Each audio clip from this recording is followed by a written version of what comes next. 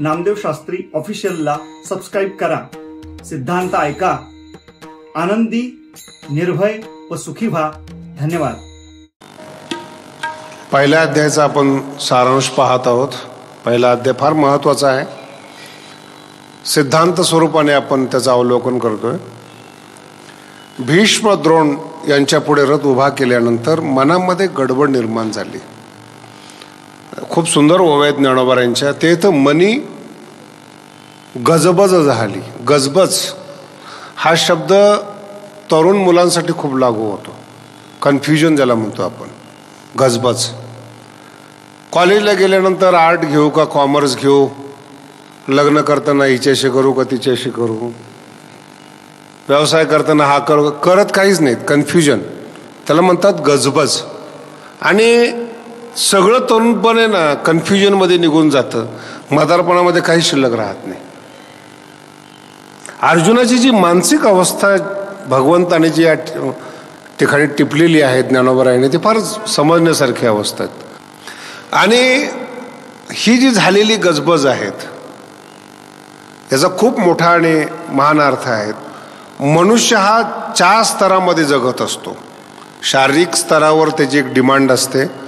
मानसिक स्तरावर एक डिमांड असते बौद्धिक स्तरावर आणि आत्म्याच्या स्तरावर म्हणजे हृदयाच्या स्तरावर.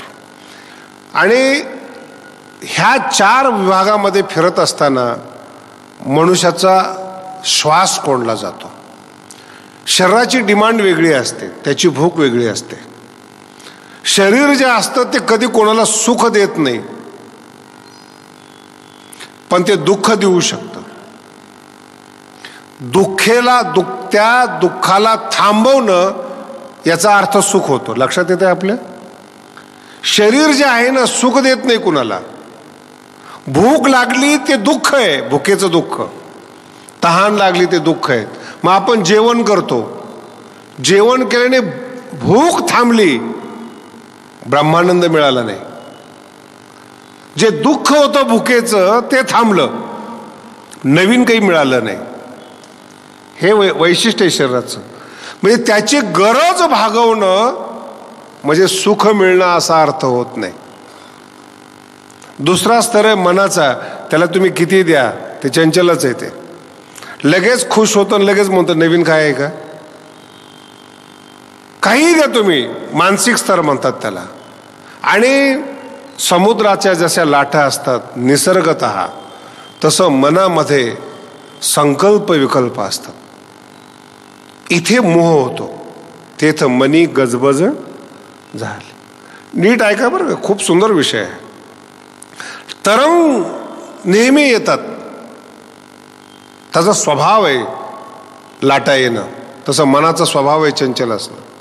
पण ती चंचलता नियंत्रित करण्याचं काम बुद्धी करत असते. दोन अध्यायाचं सारांश मी एकत्र करतोय दुसरा आणि पहिला. समजायला तुम्हाला बरं पडेल. दुसऱ्या अध्यायामध्ये बुद्धीचं वर्णन आहे स्थितप्रज्ञ म्हणून ज्याला म्हणतात ना आणि पहिल्या अध्यायामध्ये मनाचं वर्णन आहेत. हे दोन्ही मिश्र स्वरूपात तुम्हाला मी सिद्धांत सांगतोय तो. मनाचं काम आहे चंचलता असणं बुद्धीचं काम आहे नियंत्रण करणं. मनानं हजारो प्रकारच्या कल्पना केल्या माणसाचं पतन होत नाही. बुद्धीनं एक केलेला निश्चय माणसाचं आयुष्य उद्ध्वस्त होतं. रोज मनाला असं वाटू द्या मी भांडणं करील मी चोरी करील मी अमुक करील काही फरक पडत नाही त्याला. पण बुद्धीने ठरवलं चोरी करायचं त्या दिवशी तुम्ही उद्ध्वस्त झालात.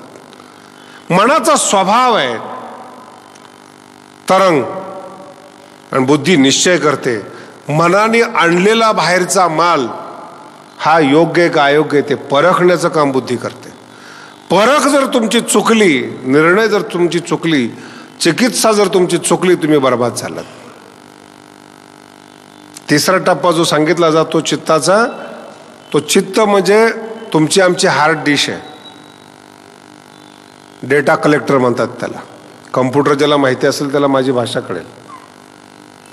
मोबाईल फोन असतो ना त्याच्यामध्ये किती फोन आले किती फोन गेले लक्षात येतात मग तुम्ही वरून डिलीट करता पण तज्ज्ञ जर माणूस असला ना आणि त्यांनी त्याच्या पद्धतीने ऑपरेट केलं ना तर पाच वर्षामध्ये तुम्ही किती फोन केलेत कुठे केलेत तो काढू शकतो तो. तज्ज्ञ माणूस असेल तर. नीट का बरं का? तुम्हाला फार चांगलं उत्तर मिळेल. पाच वर्षाचा सुद्धा डाटा त्या मोबाईलमधून तो तज्ज्ञ माणूस काढू शकतो. पाच वर्षानंतर. तुम्ही म्हणता आम्ही डिलीट केलं. तुमच्या डिलीट करण्याने काय होतं?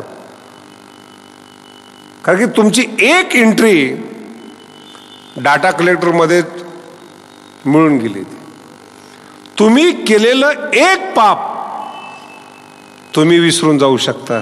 चित्त कधी विसरत नाही. डाटा कलेक्टर आहेत तुमचं प्रत्येक केलेली घटना त्याचं चित्र चित्तामध्ये गुप्त असतं. आणि त्या गुप्त असणाऱ्या चित्तातल्या चित्रांना जो मुक्त करतो त्याचं नाव आहे चित्रगुप्त. ते काय असं वही घेऊन बसला नाही? कोणत्या क्षणी तुम्ही काय केलं? तुमच्याकडे मेमरी कार्ड दिलेले आपोआप त्याच्यामध्ये डाटा कलेक्ट होतो. किती पाप केलं किती लोकांना शिव्या दिल्या किती लोकांना त्रास दिला काय चोरी केली काय बलात्कार केला जगाच्या दृष्टीने कळत नसेल पण चित्तापासून चोरून राहू शकत नाही. चित्त वरच्या स्तरावर विसरल्यासारखं वाटतं. पण मृत्यूमध्ये सगळे संस्कार तुमच्यापुढे उभे राहतात. आणि चित्रगुप्त जो असतो ते उघडतो ते चित्त. हृदय जे असतं ना ते प्रेमाने ओथंबलेलं असतं. फार कमी माणसं जीवनामध्ये हृदयापर्यंत पोहोचतात. फार कमी माणसं असतात. हृदयाच्या स्तरावर जगणंच माहीत नसतं. मन बुद्धी चित्त फार फार तर मागं असं झालं होतं मागे तसं झालं होतं. हृदयाचं स्तर अस्पर्शित राहतो. तिथे जगतात ते संत असतं मग अभंग हृदयातून निघालेत. ज्ञानेश्वरी हृदयातून निघालेली आहेत. संत हृदयातून बोलतात. तर हृदय फार अवघड आहे ते. अर्जुनामध्ये जी गडबड निर्माण झाली ती मनामध्ये गडबड निर्माण झाली. ओवी पा किती सुंदर आहेत. मनी गजबज झाली. आपैशी कृपा आली. मनामध्ये मी तुम्हाला दोन्ही सिद्धांत सांगितलेत. ताट होता एकदम. कौनेशी म्या झुंजावे वीरवृत्ती. आणि कृपा आली. वीरवृत्ती आणि गडबड झाल्यामुळं काय झालं? कृपा आली. म्हणे कृपा आली. अपमाने निघाली वीरवृत्ती. दुसरी बाई आली ना घरात. वीरवृत्ती हे क्षत्रिय पुरुषाचं लक्षण आहे. कृपा चांगली असेल ती संताकडे असेल. युद्धावर तो काही संत होण्याकरता गेला नाही अर्जुन. कोणत्या वेळेस काय पाहिजे तीच वृत्ती पाहिजे. म्हणून ज्ञानोबाऱ्या खूप सुंदर सांगतात. ज्या उत्तम कुळीच्या होते आणि गुणलावण्य आधी शब्द नीट तपासून पहा. उत्तम कुळीच्या होती. पहिलं कुळ उत्तम पाहिजेत. गुण. गुण पाहिजे. स्वयंपाक वगैरे सगळं करता यायला पाहिजेत. लावण्य सुंदरता नाही लावण्य वेगळी वस्तू आहे. पंढरपूरचा पांडुरंग सुंदर नाही लावण्याचा पुतळा. लावण्य वेगळं आहे.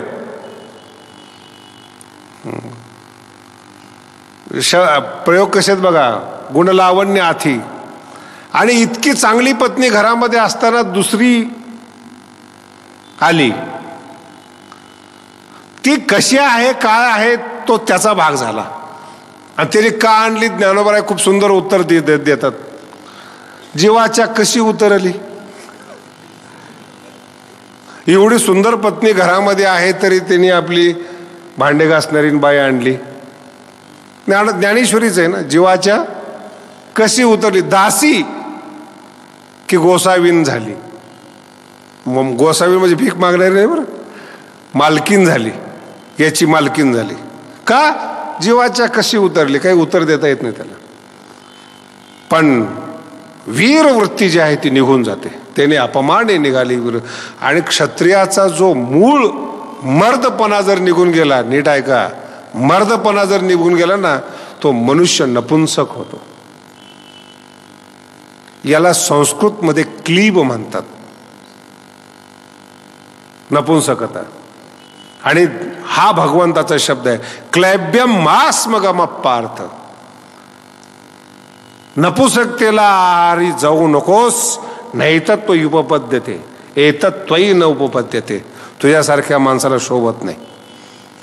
क्लैब्यम मास तुझी वाटचाल नपुसंतेकडे आहेत हिजडा होऊ नकोस. आणि ज्ञानोबारांचा मी सांगितलं तुम्हाला हे दोघांचे शब्द फार वेगळे वेगळे आहेत. कृष्ण जे बोलतात ना असं डायरेक्ट बोलतात. क्लैब्यम नपुसक होऊ नकोस. ज्ञानोबराय जरा गोड बोलतात. असते पुरुषत्व गेले. शब्दाचा प्रयोग पहा कसा आहे. हे तुमच्या हृदयाला भिडले पाहिजेत ज्ञानोबरांचे शब्द की आईमधला आणि बापामधला फरक काय? असते पुरुषत्व गेले. आता काय राहिले अर्जुनामध्ये? असते पुरुषत्व गेले. आणि हे जरा ओरडून बोलतात क्लैब्यम. हे अनार्यजुष्टम अस्वर्ग्यम अकीर्तिकरम. हे जरा शास्त्रीय भाषा झाली. हे भाषा आहे ज्ञानोबरांची आणि पहिल्या अध्यायातला अत्यंत मोलाचे शब्द महत्त्वाचा शब्द सांगतो. अर्जुन भगवंताला म्हणत असताना एक शब्द इतका सुंदर सांगितलेला देवा आमच्यासारख्याने जर असं केलं नातेवाईकांना परस्परांना जर मारलं सांगे मनाच्या लोकांच्या मनी केवी उरीजे. फार गंभीर ओवी बरं. लोकांच्या मनी केवी उरीजे. पुन्हा एकदा ओवी सांगतो तुम्हाला ताण देऊन बघा. लोकांच्या मनी केवी उरीजे. आज सार आहे पहिल्या अध्यायाचं. ही ओवी कळाली ना पुढची हे ज्ञा नामा म्हणे ग्रंथ श्रेष्ठ एक तरी ओवी एवढा तुकडा जरी कळाला ना तरी माझ्या दृष्टीने मोठा आहे. सांगे म्हणा कळत नाही ओवी. अहो जेवढे जगातले मोठे माणसं आहेत यांचे भौतिक स्मारक लहान असतील पण लोकांच्या मनात ते जिवंत आहेत ही ओवी ज्ञानोबऱ्यांची सांगे मनी केवी उरीजे. ज्ञानोबराई जिवंत आहेत. कोणी विदेशातला मनुष्य आला ए ह्याच्यापेक्षा तर दुसरं मंदिर मोठं वाटतं. दगडं मोठे असतील. मनात निवास करतात. शिवाजी महाराजांना पाहायला गेलात तुम्ही रायगडावर. जागा दाखवली जाते. इथं राजसिंहासन आहेत. इथं त्यांचा अंत्यविधी झालेला आहेत नीड आहे का? इथे? राजसिंहासन आहे. तिथं अंत्यविधी झालेला आहेत काय मूर्खासारखं बोलतायत. अंत्यविधी झाल्याची जागा दाखवली पण त्यांचा अंत झाला नाही. हृदयामध्ये ते उरलेले आहेत. शब्द इतका मस्त आहेत. मारा तुम्ही. हृदयात उरा. ही ज्ञानोबऱ्यांची ओवी. तुमचं अस्तित्व आहे ना ते हृदयात उरण्यावर आहेत. तुम्ही मनुष्य आहात. असं काम करा जीवनामध्ये. पिढ्यान पिढ्या लोकाच्या मनात उराल. ते जीवन आहे. काय किती ओवी किती साधी वाटते. लोकांच्या देवा आम्ही जर असं केलं तर लोकांच्या मनात कसे काय राहू? अरे लोकांच्या मनातच राहतात मोठे माणसं. आज मुस्लिम धर्मामध्ये आपल्यासारख्या धर्मामध्ये सगळीकडे देवाचे मंदिर आहेत मूर्ती आहेत. मुस्लिम धर्मामध्ये मूर्ती नाही आहे अल्लाला स्वरूप नाही आहेत अव स्वा किती श्रद्धा असावी? तो अल्ला मूर्तिमान नाहीये. त्यांच्या मते. पण सगळ्याच्या हृदयात राहतो म्हणून धर्म टिकलेला आहे. टिकवलाय त्यांनी. आत्महत्या करायला तयार होतात. अल्लाच्या नावाने जीव देतात. ह्याला म्हणतात हृदयात निवास करणं. ही हृदयातली कट्टरता आहेत. मोठा मनुष्य हा स्मारकाने कधी मोठा नसतो. लोकांच्या दृष्टीने कधी मोठा नसतो. चांगलं काम करा हृदयातून जात नाही. लक्षात आलं का? चांगलं काम करा हृदयातून जात नाही. हृदयातून जात पिढ्यान पिढ्या जात नाही. एवढे बसलेल्या लोकांनी काही ज्ञानोबऱ्यांच्या काळात होते काय? आज आपल्या हृदयामध्ये ज्ञानोबराय आहेत. हेच ज्ञानोबरायांचं कार्य आहेत. आणि अर्जुन देवाला म्हणतो देवा करायला काही हरकत नाही पण लोकांच्या मनी केवी उरीजे आपलं अस्तित्व लोकांच्या मनात कार्य आणि वाईट म्हणून जर स्वीकारलं ना व आजही लोक रावणाला शिवाय देतात. काही नातेवाईक आहे का रावण?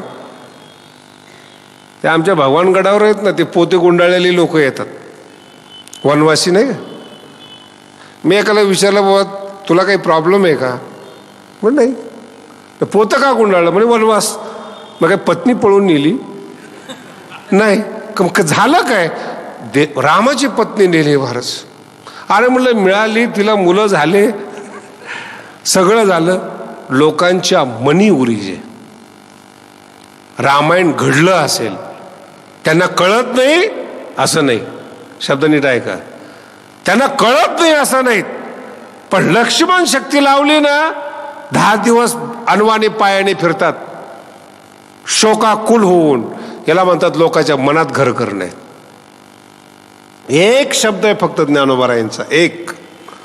पंढरपुरा नेईन सातशे वर्ष झाले लोक आजही पताका नेतात. त्यांना देव भेटत नाही पण माऊली नेते हृदयात आहेत माऊली. माऊलीचं भजन करा जातात. जगायचं असेल मनुष्याला अशा पद्धतीने जगावं. लोकाच्या मनी उरीचे कुठलाही मनुष्य असो कळत न कळत त्याच्या मुखातून नाव निघतं.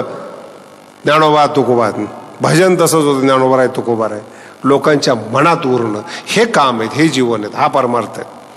आणि हे कर्तव्य भगवंताच्या प्रसादानेच मिळतं. पुढे येईल तुम्हाला. म्हणजे महत्त्वाचा शब्द आहे पहिल्या अध्यायातला. काय जगाचं होईल ते होईल पण आमच्यामुळं जग नष्ट झालं हा आक्षेप आमच्यावर नकोय. आणि भगवंत सुरुवातीला दोन शब्दामध्ये व्यावहारिक उपदेश देतात. हे बरोबर नाही तुझं. आणि इतकं समजावलंय त्यांना. अरे अर्जुना तू स्वतःला ओळख. तू हा संग्रामी हरजिंतीला शंकराला तू जिंकलेला आहेस हे तर शंकर स्वप्नात येत नाही कुणाच्या. अर्जुनाची योग्यता काय? आहे तू हा आणि सांगणारे भगवंत आहेत. संग्रामी हरजिंतीला निवात कवचाचा ठाव पिढीला इंद्राला सापडत नाही त्याला तू खलास केलंस. पवाडा तू केला गंधर्वासी. दुर्योधनाला आणि कर्णाला बांधून नेत होते.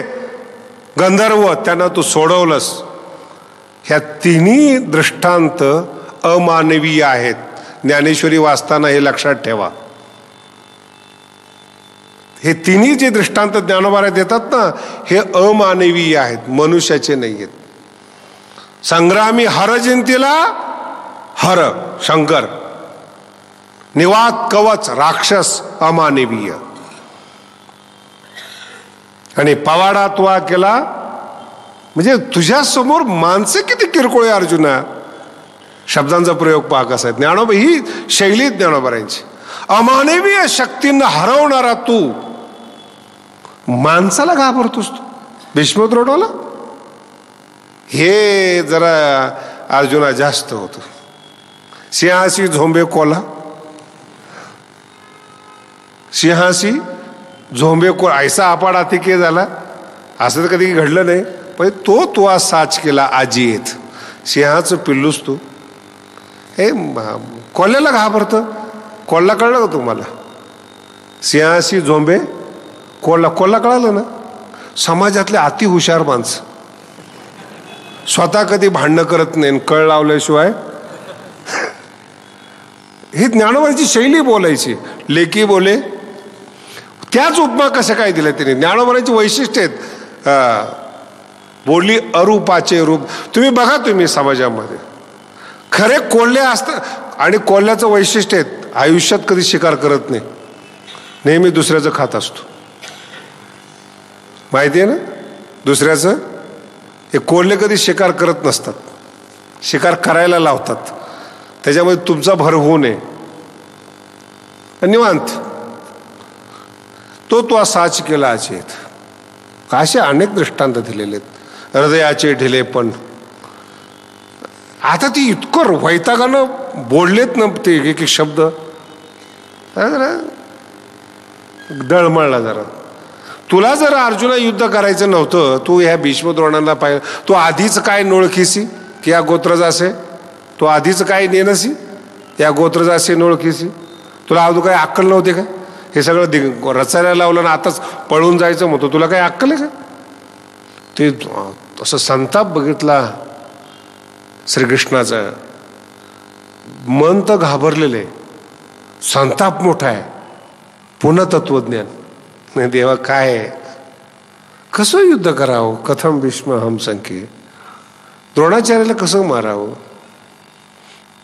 भगवंत फार सुंदर भगवंताला सांगतात पटवून देतात असं. असं होतं बरं कधी कधी. नामदेव शास्त्री ऑफिशियलला सबस्क्राईब करा. सिद्धांत ऐका. आनंदी निर्भय व सुखी व्हा.